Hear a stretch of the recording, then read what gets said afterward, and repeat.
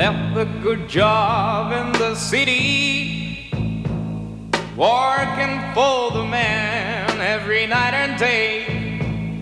And I never lost one minute of a sleeping, worrying about the way things might have been.